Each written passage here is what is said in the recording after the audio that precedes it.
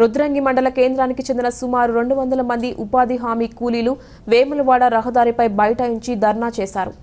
దాదాపు రెండు గంటల పాటు రోడ్డుపై బైఠాయించి నిరసన వ్యక్తం చేశారు. ఈ సందర్భంగా వారు మాట్లాడుతూ ఎండాకాలంలో ఐదుగురు చేయవలసిన పని ముగ్గురికి ఇచ్చారని ఇదేంటి అని అడిగితే చేస్తే చేయండి లేకుంటే లేదు అని దూషిస్తున్నారని కూలీలు వాపోయారు.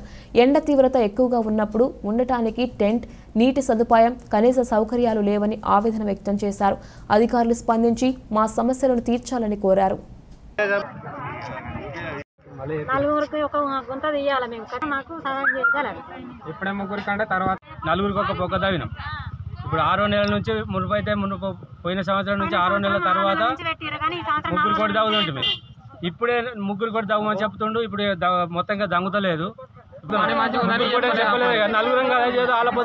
పోతాం ప్రెసెంట్ మీరు ఎందుకు ధర్నా చేస్తారు? మాకు ముగ్గురు కొట్టి ముగ్గురికి ఒక పొగ తవ్వాలి.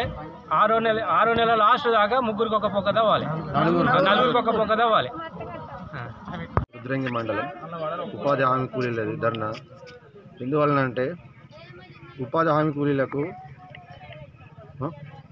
చేసే పనిని నలుగురు చేసే పనిని ముగ్గురికి ఇస్తున్నారు. సమ్మర్ సీజన్లో వచ్చేసి నలుగురికి పని పెట్టాలి. ఇద ఇద అందువలన ధర్నాకు కూర్చోవడం జరుగుతుంది. గవర్నమెంట్ని గవర్నమెంటే డిమాండ్ చేయడం. ఇన్ఛార్జ్ వాళ్ళు ఉంటారు సార్. ఇక్కడ జనం చేశారు. జనం చేశారు.